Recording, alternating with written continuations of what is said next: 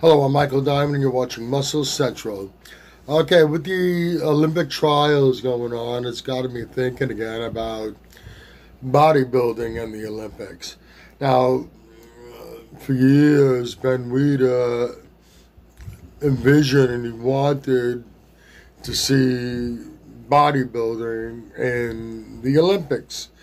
Now, we all know that the Olympics is drug tested and it doesn't take a rocket scientist to look at uh, an IFBB bodybuilder, modern bodybuilders, to realize that they they are using steroids. So uh, it conflicts with the Olympic rules that you found uh, using, test positive. Uh, if you win anything, you're stripped, you're thrown out. You, uh, I'm not sure how long you're suspended for, not not allowed to compete for, but it's not allowed and they're tested. Now, does that mean that they're drug free, the Olympics? Uh, I'm sure there are competitors, and probably a lot of competitors in various sporting events that are drug free. Now, I would think it's pretty safe to assume most, if not all, of the ones that are at the very top, the medal winners, are using.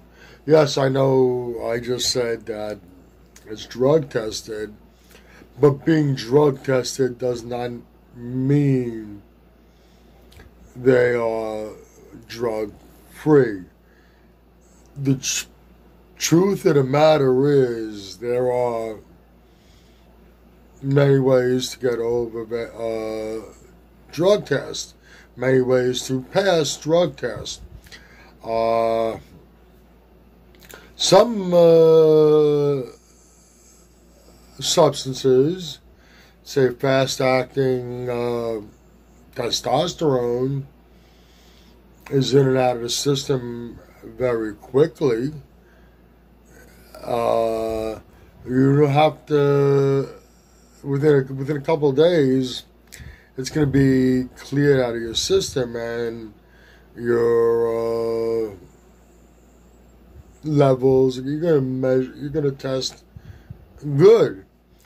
Uh, and some and a lot of other compounds. If you stop a number of weeks before you have to test, give it sufficient time to clear the system, you're gonna get by. Does that mean that just because you stop to say two weeks prior, does that mean you're going to lose the benefits of its usage? Absolutely not. So, like I said, it'd be safe to say that most, if not all, of the top placing competitors in the various events are using some sort of enhancement. You have uh, sponsorship, financial backing. It's very easy to. They can also p- pay someone who has the knowledge to do it, where they can tweak uh, certain compounds that are being used which would make it undetectable. The long short is that there are many ways to beat the test, and it's pretty. I can pretty much assure you that even in the Olympics, where it's drug tested, the use of, of performance enhancers is widespread. Now let's get back to the bodybuilding aspect about it. Like I said, it does take a rocket scientist to see that the bodybuilders are enhanced. Uh, in their case, they're trying to get as big as they can and as ripped as they can. And it's the look that's the telltale giveaway. Now, in these other endeavors, uh, the the usage might enhance their physique, but that's not the ultimate goal for them. It's enhancing the skill they have for the particular sport they're participating in.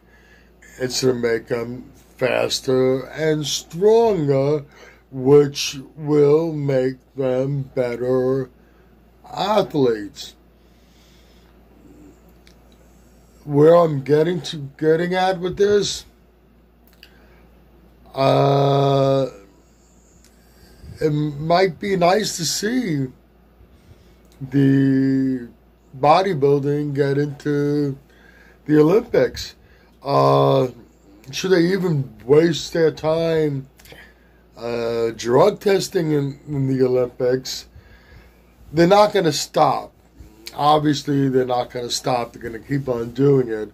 But the truth of the matter is, it's a waste of time because these athletes are finding ways to get around these tests. They're using and they're beating the test. Let's not worry too much about who's using and who's not using. It's not going to make, it's not going to give you, if you're using, it's not going to give you a skill. You have to have the skills to begin with. It's just going to enhance whatever skills you have.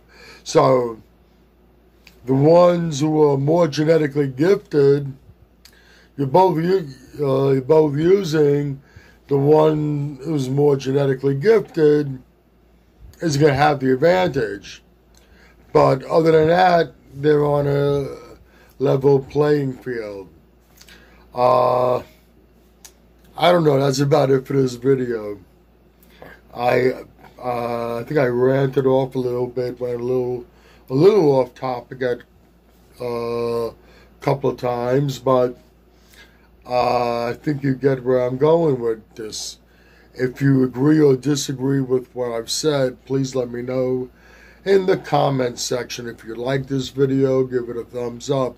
Please share and by all means subscribe. Do not forget to hit that notification bell. This way, every time I put up a new video, you will be notified. Also, if you go to the description box, you'll find some links there. One is to the Muscle Central Facebook page. Any questions for me, you can go there, DM me. I'd be happy to answer your questions. You'll find a link to Species Nutrition, the best nutritional supplements on the market, and Mr. Potts Protein, the best protein packed snacks on the market. Click on both links, go to both websites, and check out all their great products. Once again, this is Michael Diamond, and I'd like to thank you for watching Muscle Central.